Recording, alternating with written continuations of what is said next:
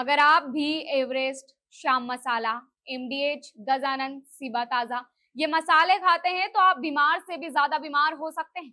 अब आप सोच रहे होंगे, ये मैं क्या कह रही हूँ? लेकिन ये मैं नहीं, स्वास्थ्य विभाग की रिपोर्ट कह रही नमस्कार, मैं शेख जूही, आप देख रहे हैं द नगरी न्यूज़।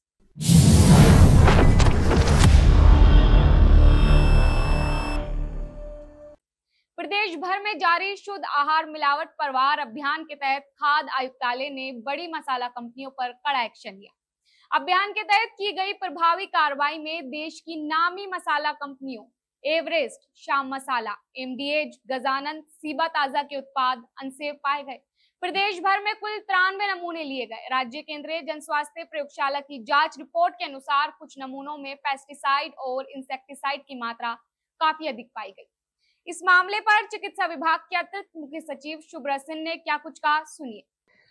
ये एक बहुत ही महत्वपूर्ण कार्यक्रम है जो प्रदेश भर में चलाया जा रहा है और जिस मुस्तैदी से ये कार्यक्रम हुआ है, मुझे लगता है पहले कभी ऐसा सफल अभियान हुआ नहीं। तो वास्तव में घी हो, चाहे मसाले हों, चाहे ड्राई फ्रूट्स हो उस पर एक बहुत सक्षम कार्रवाई की जा रही है। आज ही मैंने सी ओ एफ़ भारत सरकार को एक पत्र लिखकर जो ये बड़ी कंपनीज़ हैं जिनके मसालों में हमें मिलावट पाई गई है, उनके बारे में उनको लिखा है।